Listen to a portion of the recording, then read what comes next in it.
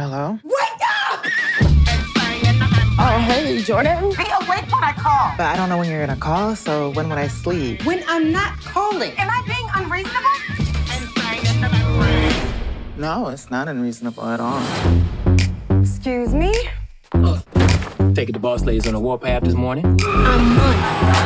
I got money. Every morning.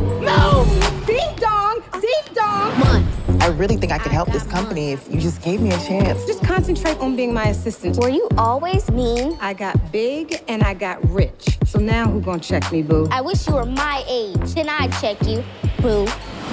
I wish you were little. I told you, watch it.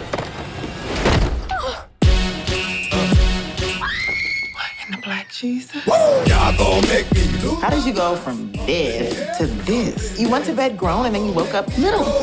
That's for white people, because black people don't have the time. Y'all gon' make me act Child Protective Services, enroll this child in school or somebody is going to jail. By somebody, do you mean?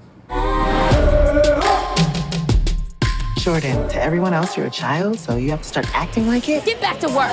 Whose child is this walking around here in a tiny pink pantsuit? Ladies all across the world. I need you to cover for me in the office. I should probably dress the part. Your body can't fit into my clothes. This is squats. This is Pilates. That body looks like Baby Gap. I will agree to cover for you if you promote me to creative exec. Well, look whose balls just dropped. There's your teacher. I can tell that you are a special young lady. I feel like you get me. Really? I feel like I get you too. So you feeling what I'm feeling?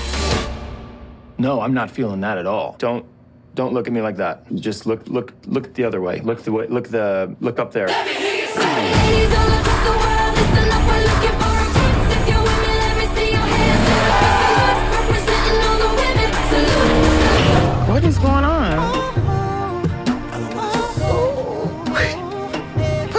The middle of that. Who are you? Well, I'm April with the A for available. Think you're the boss of me? Say one more thing, I dare you. You're too fat for that skirt.